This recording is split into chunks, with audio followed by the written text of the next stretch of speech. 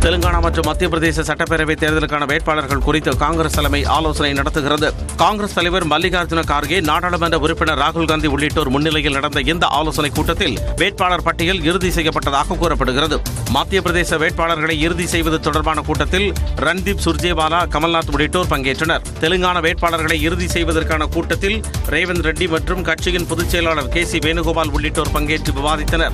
நவராத்திரியின் முதல் நாளான நாளை வேட்பாளர் பட்டியல் வெளியிடப்படலாம் என்று எதிர்பார்க்கப்படுகிறது. முதற்கட்டமாக அறுபது வேட்பாளர்களின் பட்டியல் இறுதி செய்யப்பட்டதாக தகவல் வெளியாகியுள்ளது. தெலுங்கானாவுக்கு வரும் நவம்பர் முப்பதாம் தேதியும் மத்திய பிரதேசத்திற்கு நவம்பர் பதினேழாம் தேதியும் ஒரே கட்டமாக தேர்தல் நடைபெற இருக்கிறது. இந்த தேர்தல்களில் பதிவாகும் வாக்குகள் வரும் டிசம்பர் மூன்றாம் தேதி எண்ணப்பட இருக்கின்றன. இரண்டாயிரத்து இருபத்தி எட்டாம் ஆண்டு நடைபெறவுள்ள ஒலிம்பிக்கில் கிரிக்கெட் விளையாட்டை சேர்ப்பதற்கு சர்வதேச ஒலிம்பிக் கமிட்டி ஒப்புதல் வழங்கியுள்ளது. சர்வதேச ஒலிம்பிக் கமிட்டியின் செயற்குழு கூட்டத்தின் இரண்டாவது நாள் ஆலோசனை மும்பையில் நடைபெற்றது. இதன் பின்னர் செய்தியாளர்களிடம் பேசிய கமிட்டியின் தலைவர் தாமஸ் பாக் இரண்டாயிரத்து இருபத்தி எட்டாம் ஆண்டு அமெரிக்காவின் லாஸ் ஏஞ்சல்ஸ் நகரில் நடைபெறவுள்ள ஒலிம்பிக் போட்டியில் ஐந்து புதிய விளையாட்டுகளை சேர்ப்பதற்கு ஒப்புதல் அளிக்கப்பட்டுள்ளதாக கூறினார்.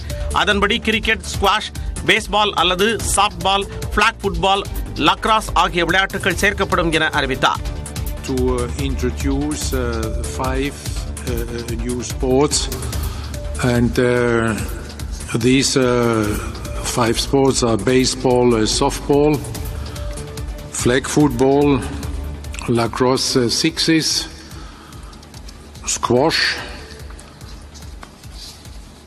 and cricket. கிரிக்கெட்டை சேர்க்க வேண்டும் என்ற ஆரம்பகட்ட முன்மொழிவு மட்டுமே ஏற்கப்பட்டுள்ளதாகவும் எத்தனை ஓவர்கள் கொண்ட போட்டி எத்தனை அணிகள் பங்கேற்கும் என்பது போன்ற விவரங்கள் பின்னர் முடிவு செய்யப்படும் என்றும் தாமஸ் பாக் தெரிவித்தார். ஆயிரத்து தொள்ளாயிரம் ஆண்டு நடைபெற்ற பாரிஸ் ஒலிம்பிக்கில் மட்டுமே கிரிக்கெட் விளையாட்டு சேர்க்கப்பட்டிருந்தது. அதன் பின்னர் நீக்கப்பட்ட நிலையில் நூற்றி இருபத்தி எட்டு ஆண்டுகளுக்கு பிறகு பாரம்பரியமிக்க ஒலிம்பிக் பதக்கத்திற்காக கிரிக்கெட் போட்டி நடைபெறவுள்ளது.